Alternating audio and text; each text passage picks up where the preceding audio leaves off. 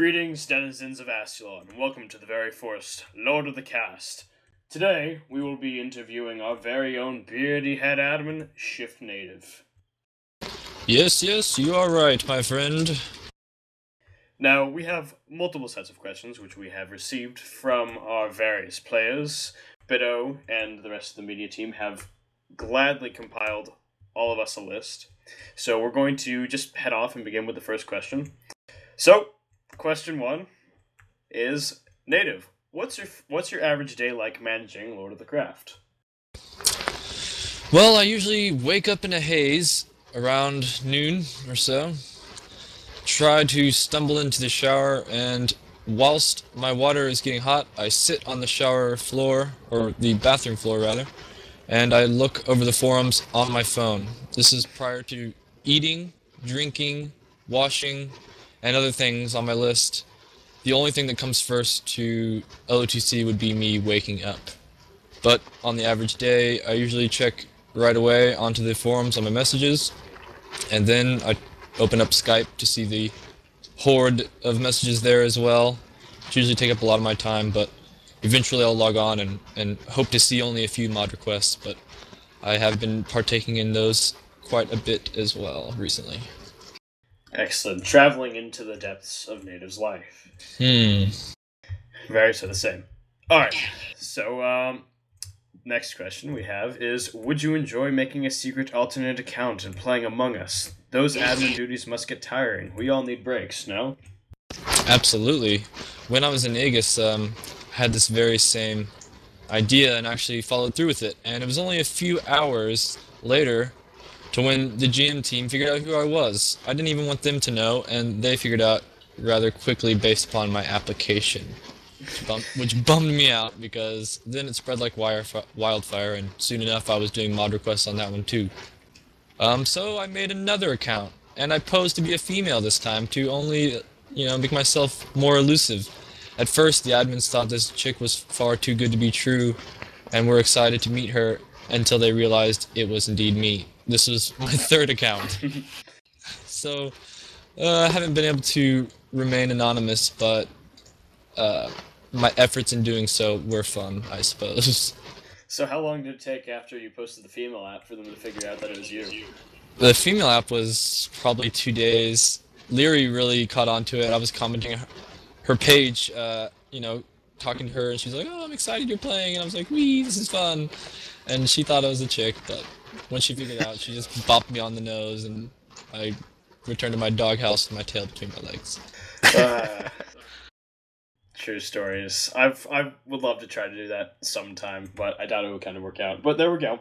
So it has in fact worked for anybody out there, any admins wanting to slip under the radar and kind of go hung with the players. Native has indeed done it, and eventually had to deal with Leary's unfortunate sadness because she did not have a female companion to sort of bond with throughout playing. Alrighty, well, this question is asked by Eisen, and he wants to know what's your favorite event since the server began? Hmm. Well, I think it's best I answer this question in two ways. Um, one from the perspective of in my RP and my character is a favorite event, or you know, one that I participated in in character, and one that I participated in out of character. Uh, my in-character favorite event would most likely be um, Glory Days at uh, the battle at um, Calbrist against the Undead, because I literally went there alone, following lightning strikes. I had never been to Calbrist before, and I walked on foot, um, and I pelted a whole bunch of undead with arrows, and they were on top of the tower, and it was really good fun. But as far as OOC events, um, or I guess I was in character, but this wasn't particularly me. However, I guess I would have to go with the the battle at San Giselle, when I played as a kind of an entity summoning creatures towards you know uh, the San Giselle walls, and the players fought off these creatures for about 25 minutes and whole lot of mob spawning and a whole lot of emotes and whispering to them and things. It's really really fun and cinematic. So probably two my two of my favorites, both battles. Awesome. Um, let's see. Why did I make the color that green? this is by Fire Spirit 44 on the forums. Uh, what makes a good event? What makes a good event? Um, I would say substance. Um, just things for people to soak up, whether it be lore or things to, that make them wonder a bit. For instance, uh, there was an event proposal recently by a player who just wanted to make a cave where he would put books all throughout the cave and you would fight your way through creatures to to hear the story about this uh, adventurer who went into the cave. Um, we gave him creative and he built this really great place and it's sectioned off and hidden in Asulon. If you find it, it tells you to make a mod request and the GM then goes inside and spawns creatures for you and plays the roles of some of the creatures and fights you and things. I think people really enjoy those because not only do you get to hit things with weapons and and get loots, but there's also that story element which adds the kind of substance, and you can do it over and over again as well, which is pretty nice. Nice. Oh gosh, they asked another question. Uh, and how does being the end of complaints feel like when everybody looks at you? um, I guess it feels kind of like crap, but it's not so bad really, and um, you know, it's just one of those things where you know you have to be the one person to say you know we're all in it together. And um, LOTC is like a community I've never seen before. And people really are kind of together. And you see people like Sir Wyvanos making those video blogs and you know people uh, having you know people in their family with injuries and, and um, things like that I mean it all really kind of makes it worth it when you hear people commenting to each other, whether or not they even know each other, and just giving each other support and, and hope and and all that. So it's not so bad. And because Hellfon has actually given me a lot of me to ask this last question before he goes off to a player who's asking roughly seven questions. hmm. This is by Leland22. He asks, when is the LOTC client coming out? When is the client coming out? Boy, that'd be fantastic, wouldn't it? However, um, the Quickscene said in the past, sometime in the summer, I know that this is the last month of school for him, and he would look forward to making such a client. Um, and I, he does have, uh, you know, the ideas behind it and, and, creating it, and I'm sure he could go about doing it, but the poor guy is goes to a private school, and not only does he go to a private school, but he's in the advanced classes. So he gets a whole lot of you know, stuff that he's expected to do, especially this time around of the year. But should happen this summer, and we should be able to uh, patch each and all everyone's jar, so we can have all the pretty additions to things and a fancy GUI. All right, lovely. Now, the next couple questions are asked by Rusty7x, and the first question he asks Native, if there's one thing you can bring into the world of Asulon from our previous world of Aegis, what would that be? It would absolutely be a central road and or a, something other than the way we have spawn now. Um, didn't really foresee it. It actually sounded really fun to have spawn in the center. And when we when I thought about spawn, I, I kind of wanted to be a neutral city more so as just like uh, the place where the monks heal you. Um, however, you know there was a lot of people making their own trade cities and things, and there's we didn't want to deter from that, so we decided to make spawn just a spawn and um, not so much a shop and or village. Um, so yeah, uh, if I could bring anything here, it would absolutely be a main road or just a different type of road system to where it kind of hitched them all together in, in some place other than the center of the map. All right, all right. I actually kind of like that. I wish if there was one thing I'd rather have, it would probably be all the trees in Malinor. I love the trees. All right. Uh, the next question is What would you say makes the best roleplay experience, not just for new players, but the long serving, experienced ones? Those people willing to uh, explain the details. A lot of the people who um, have been renowned for their roleplay um, hasn't been the dramatic outcomes that they stir up in the deep reaches of their mind. It has been the guys who are playing the farmer really farming, other than clicking the wheat. He's emoting that he's you know, tearing out them the roots of things and old men who wander around the town and, and kind of mumble things and um, kind of larger than life characters or, or just the people that are willing to go through the go through the length to do the, the RP. For instance, a, a smithy, who instead of just forging your blade on the workbench, he hammers it into a blade um, on iron um, block, and you know emotes all the bits of pouring, you know, the steel and hammering it out and firing it, and all the things that really go into blacksmithing. If they're detailed to you, then it's like there's like you know you don't really need it to happen because you're reading it and you're visualizing it, and it's fantastic. All right, I have also heard that role playing an old man is supposed to be extreme fun. Yes, it is. All right, so what is your most memorable time from the Lost Land of Aegis? Most memorable time. Hmm. I say it would be the first day when I stood outside the gates of Laurelin and uh, a hundred people logged in, and being closest to spawn, um, I saw quite a lot of elves and things pouring down the road to me, and they all wanted to trade and they all wanted a house. Um, I can't forget it because it was just absolute chaos, but it organized quite well once I had built a booth.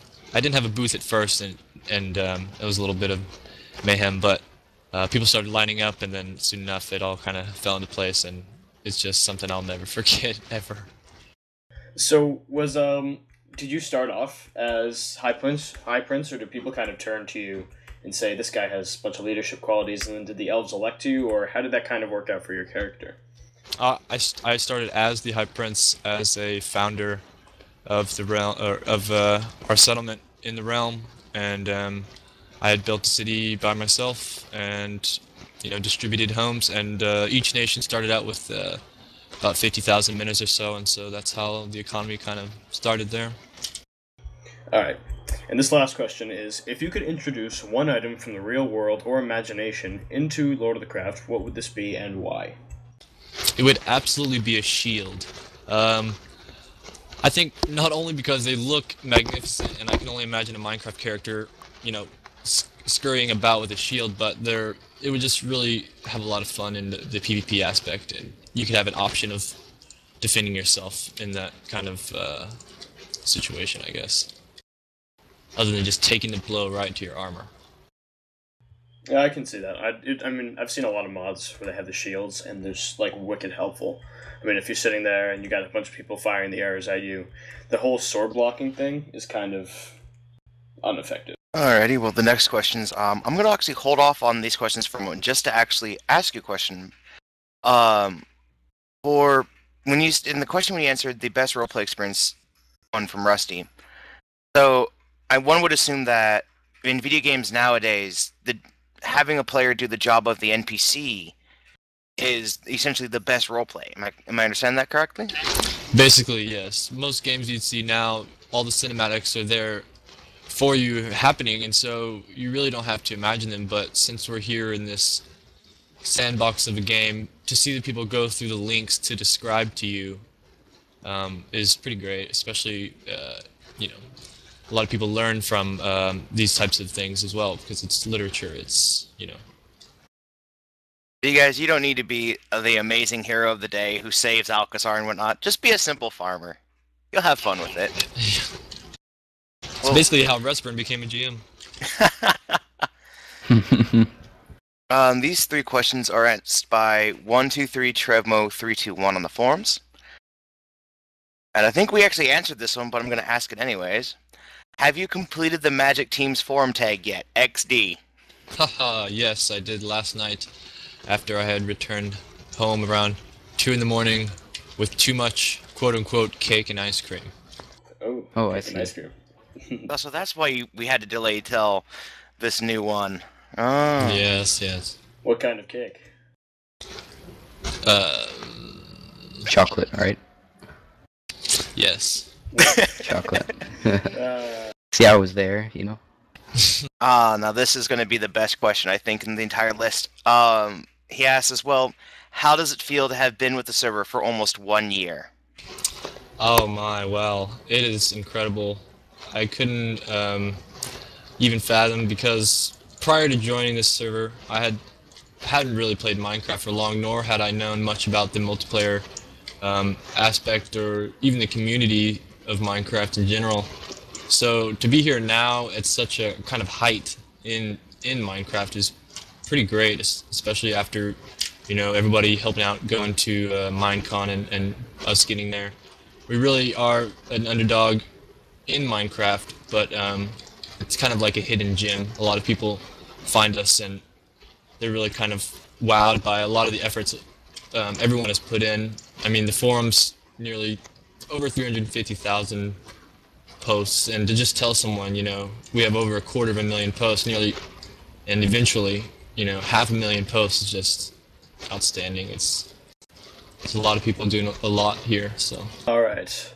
So I mean, it really is. I mean, we have if we look at it now, we have I believe twenty five thousand members. We have a thousand active members. You know, basically each consecutive hour. And, you know, it's all because of the hard work of basically every player. We have our staff and we have all the players who are just really keeping us, you know, we're keeping us kicking, and the role play is just getting significantly better. So, the next question now comes from Emerald Stag, and I'm sure you can relate, Native. How does one grow such a beard? Oh, well, well, my friend. You visit many forests, and you see many rough times. And by rough times, I don't mean bad times. They can just be rough. You can spend nights out in the wilderness, or you can spend days rubbing your face against tree trunks.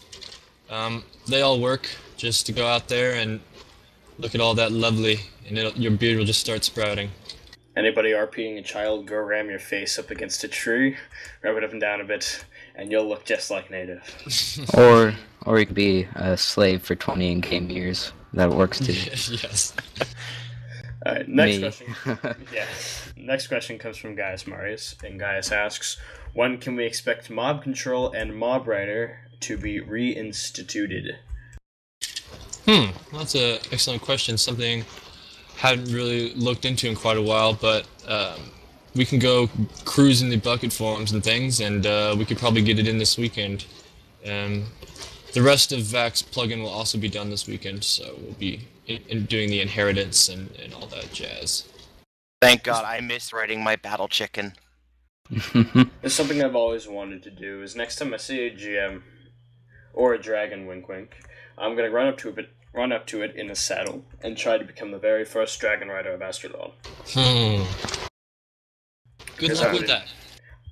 I will catch you. I will spend all of Renatus's money to try and capture the first dragon.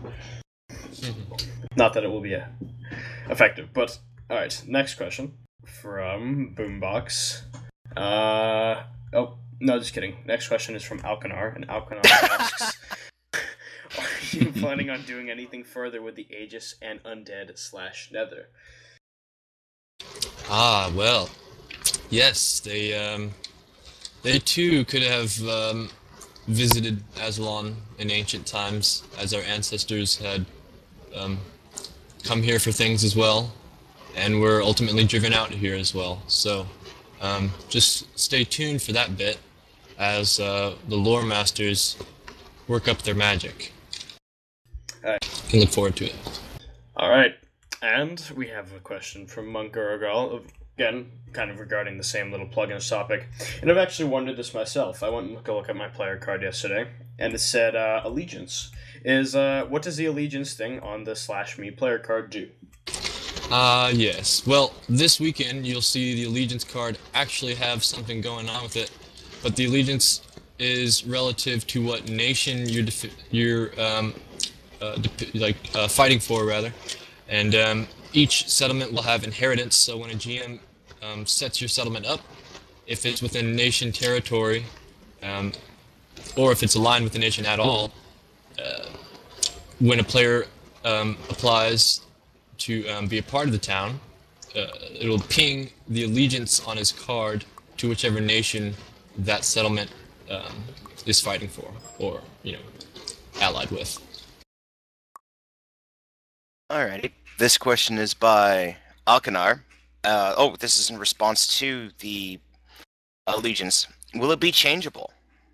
Will it be changeable? Uh, yes, absolutely. Um, it really, I, actually, I'm not sure if the way Vac is coding it, if it's going to be tied in just to the settlement you're affiliated with, but um, we could we could set it changeable because uh, as long as the settlement is automatically pinging it, then your player cards won't really reflect anything as far as data is concerned. So it'll just be kind of your own benefit. Um, so I don't see any problem with making it changeable for players. Alrighty then. Jingy asks, "What time is this live stream?" Right now. right now, eight o'clock on the Thursday. Oh, seven o'clock for you. Eight o'clock for me on the East Coast at yeah, eight o'clock. I'm sorry, Jing, if you missed it, but you were late. Just by a bit. Just by a bit, yeah. no, this is, I think, the best question of all. Nanook asks, "Why are you so awesome, Shift?" My! It's all that it's all that time spent gazing at fauna and shrubbery. A shrubbery. Yes. The longer you look at plants and the longer you look at nature, the better person you become. and the more herring you use to chop them down. Uh, now the last and final questions were these have been PM'd to me via um, TeamSpeak, and Owaki Penguin wants me as let you know, Mob Riders is not updated to 1.2.5 currently. Apparently, he stalks the Hmm. Bukkit forums. well, that's very handy then. And uh, I guess it's something we'll most likely have to wait for Mod API is released. A lot of people don't really feel like bothering messing with their plugins because they break very often. And as soon as Mod API comes out, not only are they going to be able to reinstitute reinstitute their plugin uh, a little more effectively, considering the API will probably set the stage for a lot of multiplayer things, but uh, it'll be able they'll be allowed to do other things as well. So it'll just be completely um, obsolete once the Mod API comes out. He also asks, could we get you to talk a little more about the More Physics plugin so people could get a good understanding? Mm, well, uh, I've had it linked to me a few times, and I even I sent it to Vac. Uh, I sent him the details about the things we wanted turned off and turned on, but it would just be a great thing to have because it'll add, you know, a whole. Uh, you'll have to actually take your armor off if you're going to chase some some guy, you know, down with just with leather armor, and um, you know, people are going to just throw it off without emoting it, but at least it it it has them do so. The only thing we're really going to put in, and the only thing we're really uh, loving about the plugin was the fact that armor slows you down as far as walking and moving around, and it makes you sink when you swim. So this should allow for some more fun escapes or um, things like that. There's a few other things as well, like um, arrows, for example. Uh, depending on where they hit you, they, they do more damage. This is kind of neat, as uh, archery has been uh, explained to be rather um, kind of nerfed at the moment and not not so good. So this might help out some of that if you can hit him in the head. I'm not sure, but um, still something we'll, we'll look forward to getting most likely this weekend. Put it in, and if we don't like it, we'll just take it out. So Wait, archery's nerfed? I thought with a power one bow and 100 archery, you could be one-shotted. I don't know. You hear both sides, don't you? But I'm not sure just what that location means. However, it does mean that if you have a power one bow and 100 archery and you shoot him in the foot, probably won't kill him. Hmm. Okay. Oh, Cloaks were just getting me a question over Skype. Gosh darn it, Cloak, you always always have to PM me something. We're almost done. Will there be an increase in mob spawn slash how many minas you earn from it? Apparently he hasn't seen a mob in two real life weeks and he's stuck at zero minas. Oh wow. Yeah, I, I actually haven't seen very many uh, aggressive creatures as well. So um, hopefully we can uh, ramp that up a bit. I know it's it's toned down quite a bit uh, to uh, assist with lag, but it also plays a part into where they spawn. And I know that it's you have to be within an area for a certain amount of time as well. They spawn around you. Um, but yeah, hopefully we can do a little bit more because uh, we've we've recently spent you know some money on getting the server more uh, memory, so we should be able to uh, hopefully handle more creatures as well. But uh, I can't really say at the moment. we could definitely uh, check what other people think on the forums if they don't see creatures either. Try to um, definitely add some in there, or maybe even take some of the laggy ones out and put in other ones like uh, slimes and, and um, blazes, for example, are kind of laggy and kind of glitchy anyway. So we could reinstitute other creatures to make up for it while getting rid of lag at the same time. I miss Pigmen would be nice. Yeah. Miss all that chainmail. Remember the times when uh in the Verge I would go in there'd basically be followed up by two hundred slimes. Have to run for my life and book it up into the trees. Good days, good days. Anyway, so uh, if anybody has any further questions for Native, feel free to post those in this little chat here, and we'll just. Well, we've read got them two more. Oh, we do have two more. All Yeah, right, we my got two more. My bad, Beto. If you would like to continue, and everybody can still post their questions. So, go ahead, Beto. These last two are by Melodic Hand. Uh, first, he wants to know, can I has the map he's playing? uh, yeah, actually, um, I can post that um, on TeamSpeak or on the um, live stream here in a bit if you wish. And the final question he asks, what texture pack are you using currently in the live stream? I'm using John Smith, easily my favorite texture pack of all time. Well, there you have it. For those if you have questions, post them now. Or forever hold your peace. Yeah, and then somebody asks. Uh, they were wondering about the Mob EA region. What that, whatever that means. Uh, the mob regions, those are mob spawning regions that uh, disable and enable certain mob types, so they're specific to boundaries, and that you kind of have to, if you wish to kill a certain creature or find a certain creature, you have to explore into a different area. This is to allow for different types of players to meet other types of players, because they'll have to go certain places to actually get certain resources. Uh, I saw this question earlier on uh, Minecraft uh, on the PC versus 360. Which one would you prefer? Uh, absolutely the PC, mostly because of all the performance uh, enhancing mods and and uh, different things you can do with shaders and all that stuff. Um, you can really make Minecraft look a whole lot different. And just using the mouse is something that uh, many PC gamers have fallen in love with and usually won't give up for much. So for Yeah, me, it's- for me, it'll always be the PC. it's hard to get used to it without it. I mean, they kind of like automatically give you the crafting sort of things that you need. So like all you need to do is scroll over the item you will be crafting, and as long as you have the items in your in your inventory needed to make it, it kind of shows up there in either red if you don't have it or just normal if you don't have it. And uh, I also got a question here from Mum, my uh, monk Gurajal, and he asks, "Will the will there ever be a new Verge or a link to the Verge?" The Verge. Um, I think that we definitely could uh, have a reason to return to the Verge sometime this summer. Um, and if we don't, there will definitely be an alternate destination, um, aka another server that you could teleport to. Um, that'll have something similar to the way we had the Verge. More P- P- more PMs. Uh, I got Even one from on TeamSpeak by Milo Goodbody. I don't know what he means by this. Ask about skill experience gains.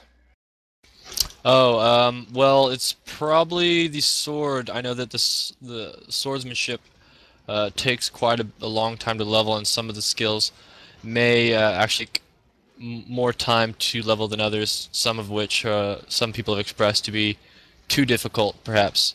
Um, well, good news. Vac has given us the entirety of the source code for his custom skills plugin, so that we can do this very thing, which is make tweaks and fixes when he cannot. Um, however, this means we also need to find someone capable and someone willing to help us out a bit, which I've been on the lookout for and have posted on Bukkit forums and help. Planet Minecraft and etc. So, um, like I s the framework is already there in in the plugin, so changing the variables really isn't too much work. So we'll see. Um, about those kinds of things, you might want to just post on the feedback section of the forums, see what other players think, and if you can get an actual number for us, that'd be great as well.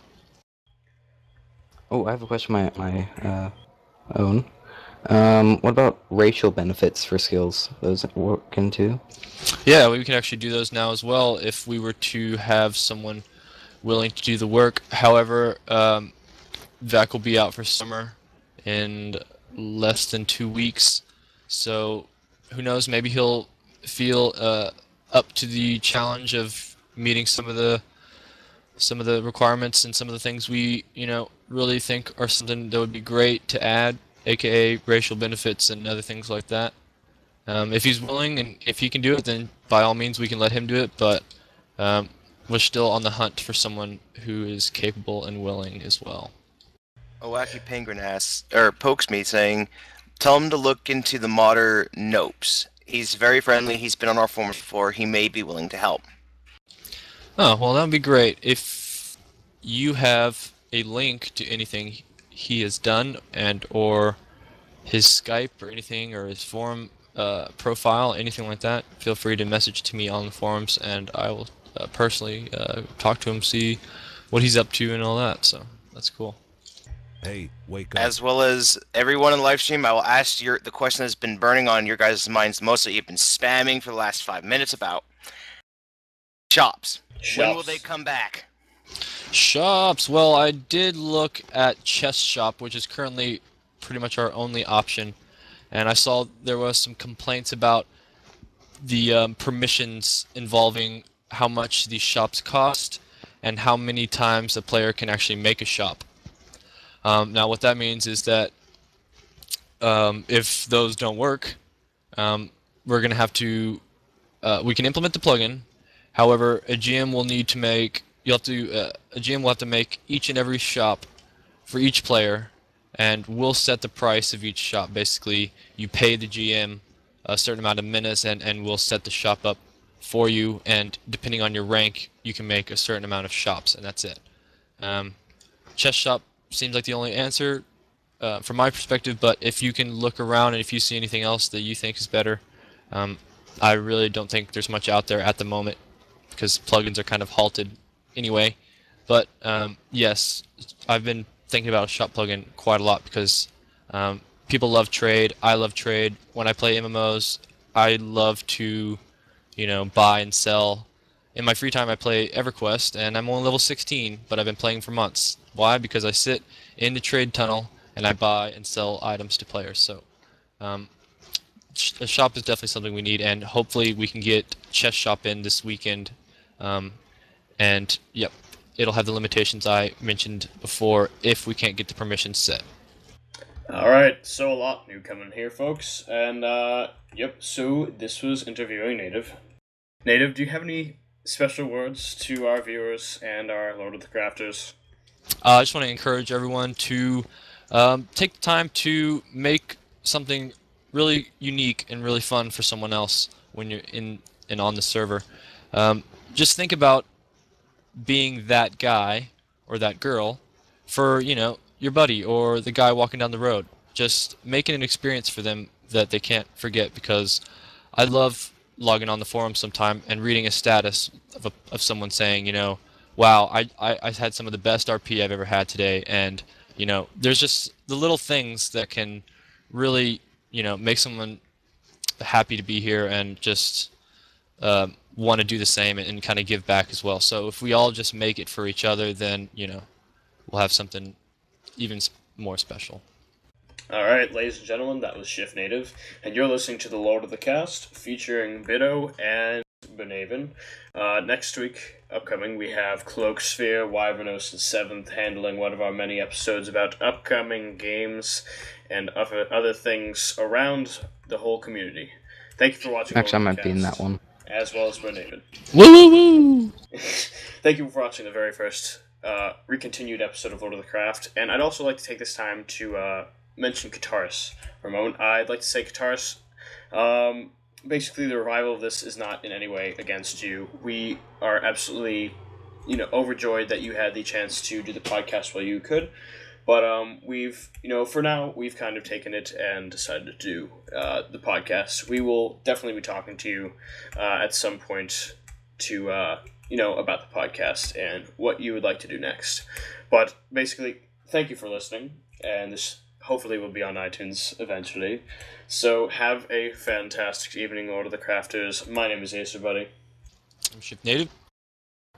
I'm Bernavin. And I'm the asshole Bido.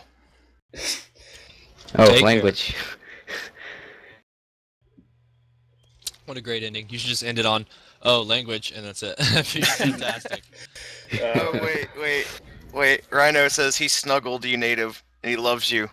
Oh my. He will walk you down the aisle eventually. Glorious. Wait, what? What? I. What? what? I don't want to know. All right, there we go.